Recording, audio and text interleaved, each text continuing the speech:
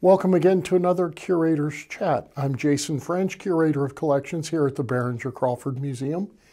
You know, I wanted to talk a little bit about the exhibits that you're going to see here at Behringer Crawford this year. You're going to see a lot of art exhibits focusing really with Kentucky artists.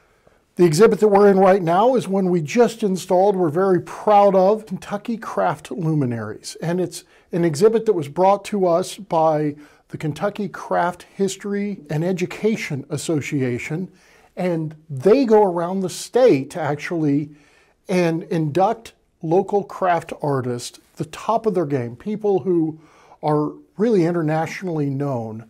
And they interview them, uh, create oral histories with these artists, and then display them in exhibits.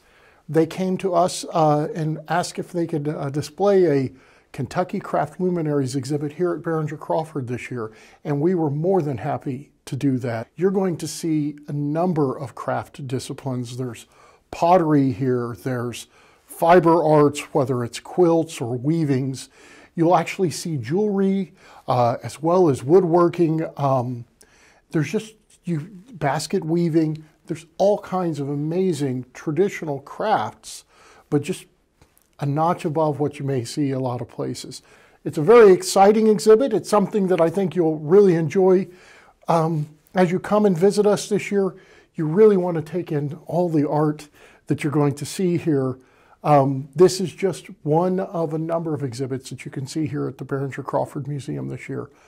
I hope you have a chance to come and visit, that you like it. You follow us on uh, YouTube and like and subscribe, and we'll see you in our next Curator's Chat.